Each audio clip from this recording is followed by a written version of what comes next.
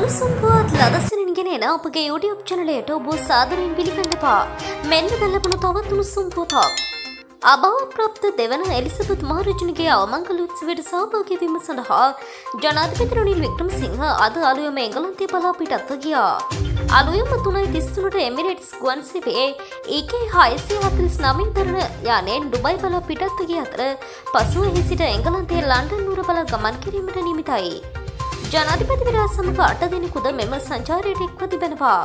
පසුගේද අසනීප තත්වයෙන් සිටියදී දෙවැනි එලිසබෙත් රජන අභාවප්‍රාප්ත වූයේ ස්කොට්ලන්තයේ බැල්මොරල් මාලිකාවේදී.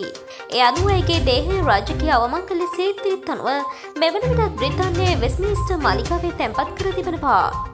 රැජනට අවසන් කවරුව දැක්වීම සඳහා මේ වන විට කිලෝමිට්‍ර දහයකට ආසන්න දිගු පුලින් දැකියකි අතර ලෝකයේ ප්‍රබල රාජ්‍ය නායකින්ද ඇගේ අවමංගල්ද උත්සවයට එක්වීමට නියමිතව තිබෙනවා.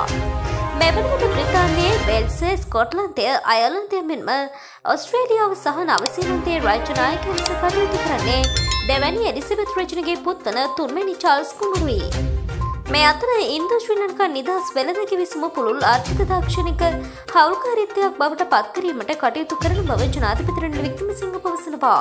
ඔහු මෙම අදහස් පළ කළේ ඊයේ කොළඹදී පැවති ශ්‍රී ලංකා ඉන්දියානු සමාජයේ වාර්ෂික සුහද හමුව අමතමින්. ඉන්දියාවේ හැත්ත පස්වෙනි නිදහස් සැමරුම මුල් කර ගනිමින් පැවති මෙම වාර්ෂික සුහද හමුවට මෙරට ඉන්දිය මහා කොමසාරිස්වරය ඇතුළු පිරිසක් එක්ව සිටියා. මෙවැනි උණුසුම් පුවත් ලදසරින් දැන ගැනීමට අපගේ YouTube චැනලය සබස්ක්‍රයිබ් කර බෙල් අයිකනයට ක්ලික් කරන්න.